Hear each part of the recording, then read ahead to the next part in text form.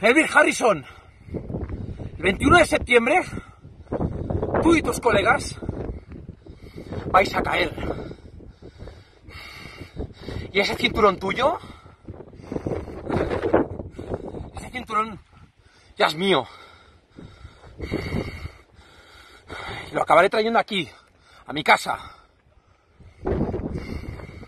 Porque por algo me llaman la montaña de Moncada.